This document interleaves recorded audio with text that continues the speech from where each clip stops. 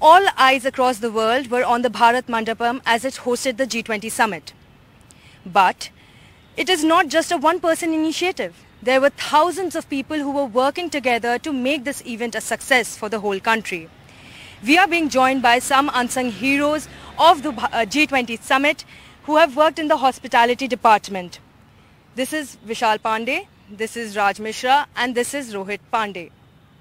So so, sir आपका जो experience रहा आप आपका क्या एक्सपीरियंस रहा है ये जी ट्वेंटी में काम करने का? और क्या क्या करना पड़ा? हमारा बहुत ही अच्छा एक्सपीरियंस रहा। और कई हमारे मित्र गढ़ जो है वर्कर को लेके जो है इसका इसमें काम करवाए हैं। फिनिशिंग का वगैरह सब काम जो है टेंडर लिया था इसका करवाया गया है। हम आज बहुत ही खुश हैं कि हमारे भारत में जो है पहली बार जी ट्वेंटी का समारोह सम्मेलन हुआ। हम इस चीज़ से बहुत खुश है जो है। कई देश के जो है यहाँ सब आए हुए थे। हम उनको देख करके बहुत ही खुश हुए और हमें मिलने का जो है अवसर प्रदान हुआ उन सबसे। बहुत ही अच्छा रहा सब कुछ यहाँ पे। तो सर आप आ, पहले जी ट्वेंटी से पहले भी यहाँ पर काम कर रहे थे? जी हाँ जी ट्वेंटी से पहले ही काम कर रहे लगभग हमें चार साल यहाँ काम करते हो गया। चार साल। तो आ, आपने कुछ देखा, कोई चेंज देखा आपने कि वर्क फोर्स जो थी मतलब उससे ज़्यादा लोग आए अभी काम करने के लिए कि ये इतना बड़ा इवेंट था, इतने सारे लोग थे? तो आप जैसे बोल रहे थे, आप कंस्ट्रक्शन में इसमें देख रहे थे तो आप ज़रा थोड़ा बता सकते हैं क्या क्या जैसे कोई डिटेल्स बता सकते हैं कि कंस्ट्रक्शन कहाँ कहाँ पर आपने काम किया इसमें?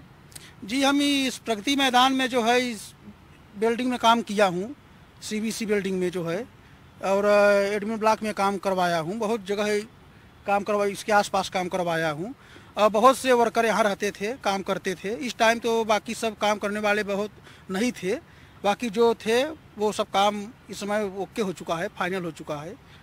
सब रेडी हो चुका है यहाँ पे काम इस समय। तो जितने लोग बाकी जो आए थे जी ट्वेंटी के टाइम पर तो आ, वो अभी भी यहाँ पर काम कर रहे हैं या फिर कुछ लोग वापस भी चले गए हैं? नहीं कुछ लोग वापस भी चले गए कुछ लोग यहाँ काम कर रहे हैं और कुछ लोग वापस चले गए हैं इस समय।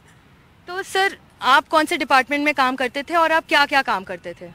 मैं भी हाउस कीपिंग का काम कर रहा था यहाँ पे। हम्म, हम्म। तो क्या क्या आपके काम में क्या क्या करना पड़ता था? मतलब कि जैसे कि बिल्डिंग के काम में हाउस कीपिंग साफ़ सफ़ाई यही सब देख रेख कराते थे। हम्म। अच्छा तो इतने सारे लोग आए थे आपके साथ कितने कर्मचारी और काम कर रहे थे यहाँ पर? कम से कम चालीस आदमी। चालीस आदमी। और कितने घंटे काम करना पड़ रहा था? आठ से आठ। हाँ? आठ से आठ। बारह घंटे। तो अभी भी आपको वो बारह घंटे काम करना पड़ रहा है या फिर अभी थोड़ा नॉर्मल हुआ है? बारह घंटे बारह घंटे। बारह घंटे ही। हाँ, काम है। हम्म। तो आपको कैसा लग रहा है कि इतना बड़ा एक सक्सेसफुल इवेंट हुआ हमारा जी ट्वेंटी जो पूरे देश पूरे पृथ्वी ने देखा इस चीज़ को? तो आपका क्या कहना है इस पर?